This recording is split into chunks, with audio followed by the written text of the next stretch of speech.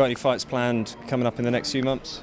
Uh, I hope so. Uh, I just got off uh, uh, surgery and uh, started the training 100% now uh, and learning to trust my hand again. Uh, but I hope uh, I will uh, fight soon. So can you talk us a bit through the surgery, how it how it happened, and how you hit, what the process is you're healing? When when are you likely to get back in the cage? Uh, I hope uh, in in a couple of months. Uh, I um, hit uh, a guy in the head, and yeah, I pulled my ligament, and a, a piece of bone came with it. So uh, it was quite painful, but that's uh, just an occupational hazard. And in, terms of, is that kind of the biggest injury you've, you've had in your career so far, and, and how is it to, to sort of deal with that as a professional fighter? Uh, you know, it's it's like anything else. It's uh, things you have to expect.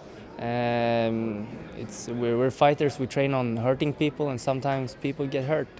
So that's it. And obviously the, the stadium here is is huge, and you've got some interest with some friends fighting like, at the moment. Um, would the dream be to, to one day come back here, fight in Sweden?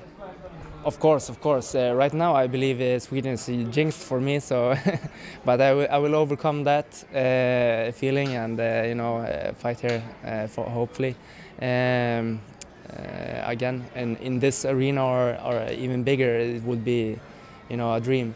But you know, it's just a dream for me to fight in the UFC. So, you know, just keep on fighting wherever they want to. And is there any fighters in your weight class that you've got your eye on on your return? Yeah, everybody that's uh, ranked higher than me, anybody that's in the top 10, top 5. I want to fight somebody that nobody thinks I'm going to beat, because then I do my best fights.